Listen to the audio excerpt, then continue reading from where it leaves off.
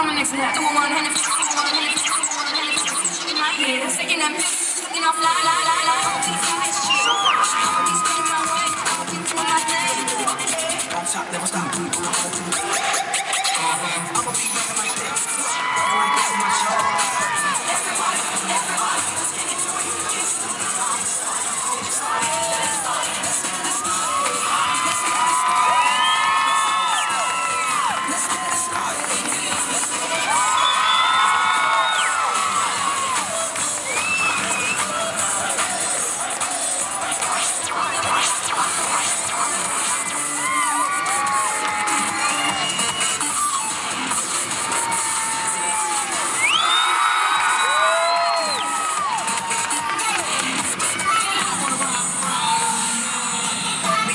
You're